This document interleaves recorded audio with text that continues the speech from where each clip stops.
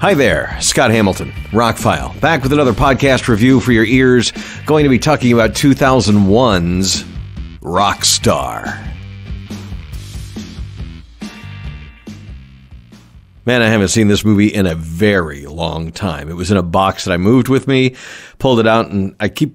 Eh, I'll watch it later. Eh, I'll watch it later. I, I, I have good memories of it, but I really don't remember much about it. I mean, I remember liking Mark Wahlberg's performance. I remember there were a bunch of rock stars actually in the movie, but I haven't seen it in a long time. It came out in 2001. The Blu-ray came out in 2014. I'll do a little Blu-ray review in here too. Uh, short version is if you've never seen the movie, it's actually kind of sweet. it's it's it's kind of a romance at its heart, and, and you know, following your dreams and all that kind of stuff it also wants to be something else, so it's kind of it, it kind of mixed in tone, uncomfortably. But at an hour and forty six minutes, it's still entertaining. So getting into the movie, um, the first thing I noticed, it's very soft looking Blu-ray.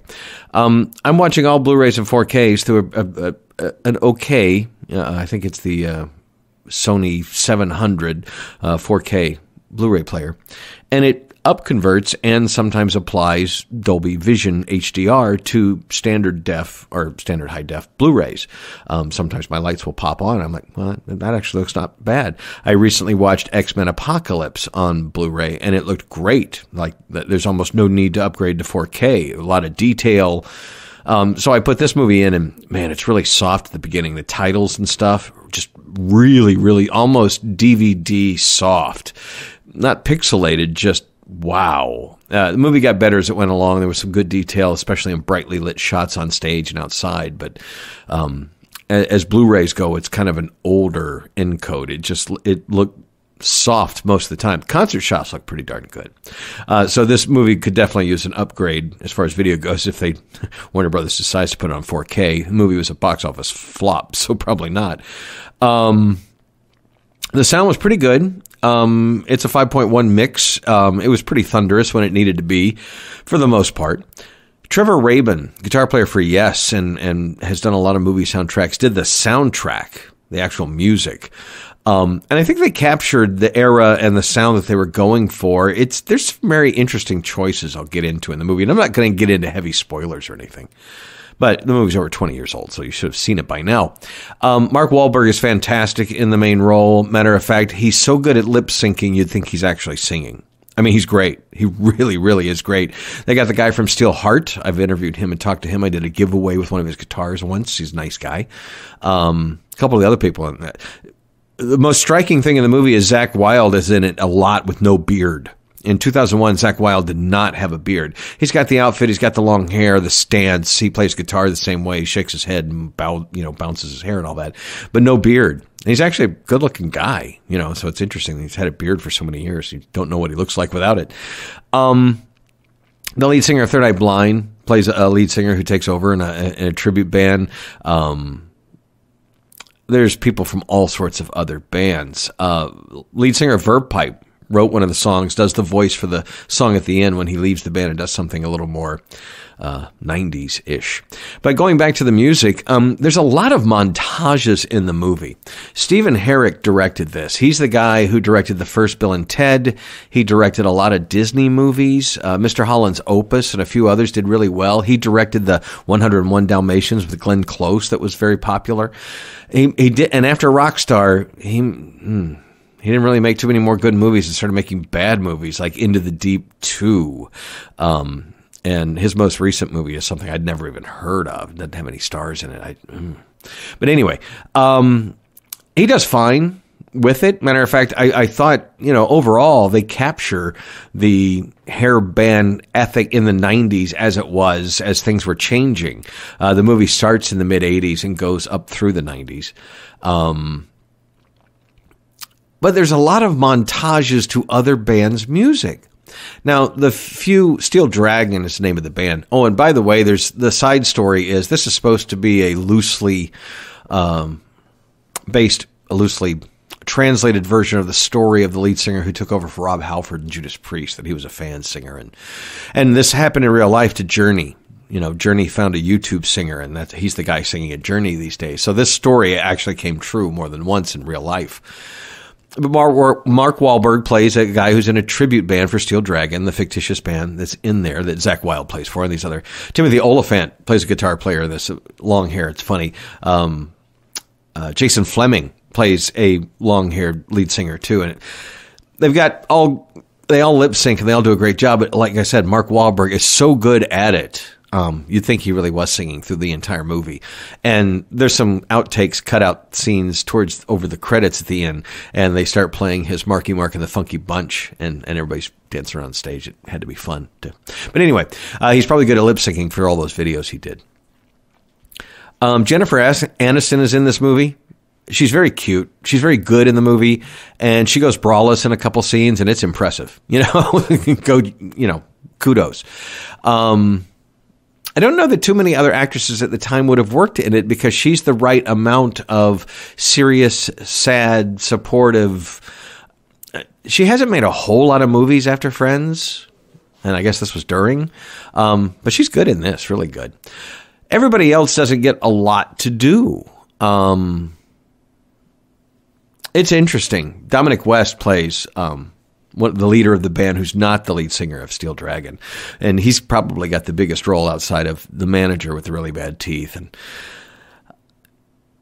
all the band members do a great job. Uh, Zakk Wylde actually has some speaking parts, and on stage he's great. But going back to the music uh, again, um, there's a lot of montages to Def Leppard, to Poison.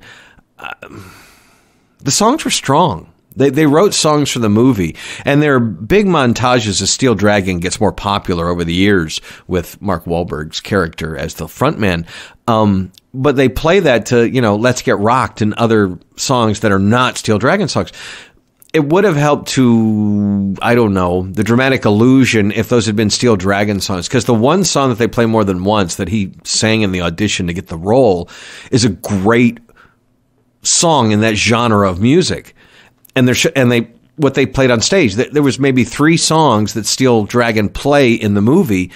Everything else is somebody else's song over a montage of them doing stuff on stage and then backstage and then with groupies and them on the road. And there really was, it was noticeable in an hour and 40 minute movie to have as many montages as they did, but it's a, it's a music movie. So where the movie doesn't work, it, it, works because Mark Wahlberg's good, Jennifer Aniston's good. They're very real and down to earth in their roles um, the idea that he's in a tribute band and he becomes the lead singer of his favorite band, and then eventually, you know, what their relationship goes through and all that.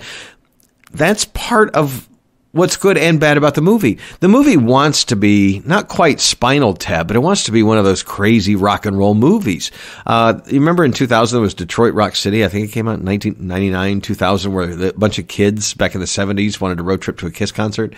That was a little more wild and crazy than this was. It tries.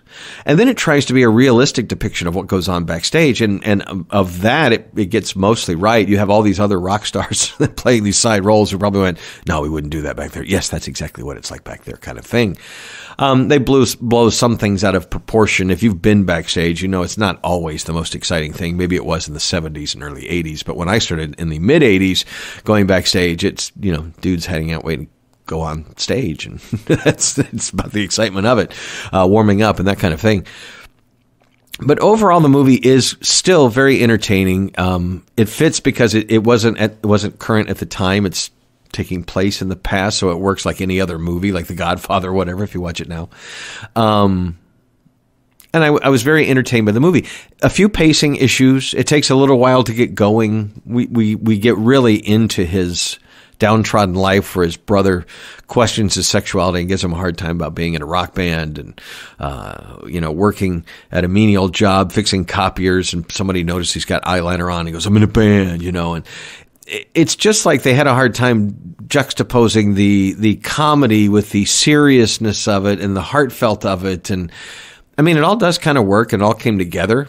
It, it, mm. It just didn't reach classic status. It's it's almost there, but not quite. But there's so many good things about it. Like I said, the performances are great. The music is great. Um, most of the pacing is good once it gets going. Um, and the montages are well done. I didn't mean to disparage montages. I just think they should be used, you know, sparingly as a directorial directorial tool to get something across, to tell time and things going on and things like that. I do get it. But this was like montage after montage after montage. But anyway.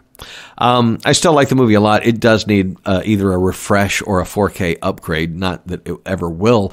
Had a production budget of 59, 60 million dollars, only grossed 19 million back in 2001. So didn't do very well and kind of hurt the director's career after that. If you look at the movies he made, some pretty high profile stuff and not so much afterwards.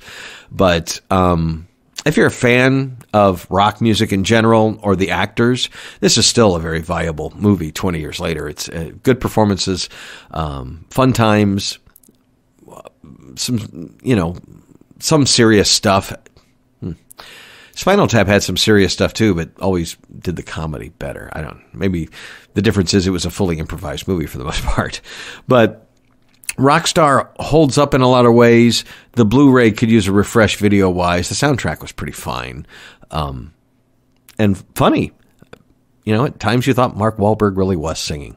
If you haven't seen it in years, pull it out, check it out. It's on streaming services and shocked it actually came with a digital copy. Warner Brothers didn't do that much in 2014. So there's that. When I pulled up the Blu-ray tonight, the little piece of paper fell out and I'm like, oh wow, didn't even think this had. That was back before they put that as a selling point on the cover of the Blu-ray. That's how old that is. Um, this was an early Blu-ray, I guess.